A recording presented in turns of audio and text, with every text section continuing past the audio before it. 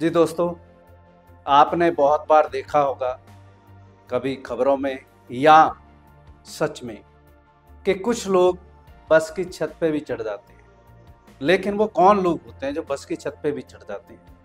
वो ज़ाहिर है कि छोटे शहरों से या दूर दराज गाँव से।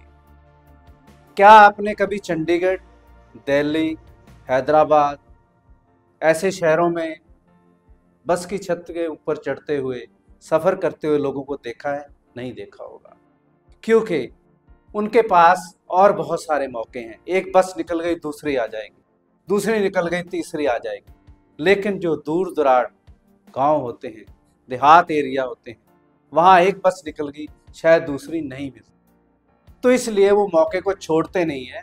उनके अंदर ये डेयरिंग आ जाती है, उनके अंदर हिम्मत आ जाती है कि बस की छत के ऊपर भी चढ़ जाते हैं।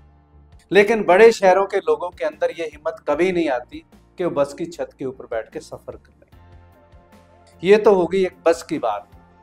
जीवन में भी अगर आपके पास बहुत सारे मौके हैं तो आपके कामयाब होने के चांसेस बहुत कम हो जाते हैं।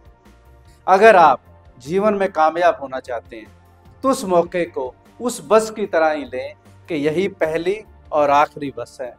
इसकी छत पे चढ़ना पड़े, छत पे चढ़ जाऊँ बैठने की जगह मिल जाए तो बैठ जाऊँ।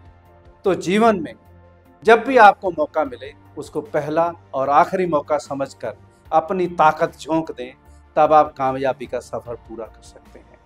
थैंक यू वेरी जी दोस्तों, अगर आपको ये मेरी कोशिश पसंद आ रही है तो कमेंट्स में भी आप बताएँ, मेरे चैनल को शेयर करें, वीडियो को शेयर करें, लाइक करें, सब्सक्राइब करें।